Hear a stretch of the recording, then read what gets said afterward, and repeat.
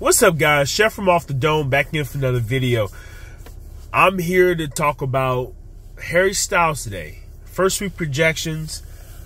I haven't read any projections for Harry Styles, but his last album did like 400,000. Granted, it was 2020, I believe 2019 or 2020.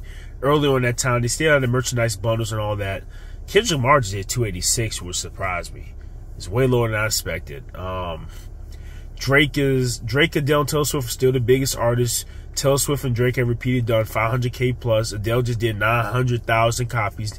She did 4 million. That last album before that, she dropped 3 million less copies. So Harry Styles, I would give Harry Styles.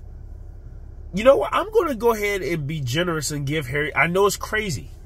I'm going to give Harry Styles 280 to 310. If he has seized that, then he really is the biggest pop star in the game. Because Justin Bieber can't do over 200,000 now. Ed Sheeran just did 118. Adele didn't do a million. Drake only did 613, which is still good, but he did 735. Then before that, a million.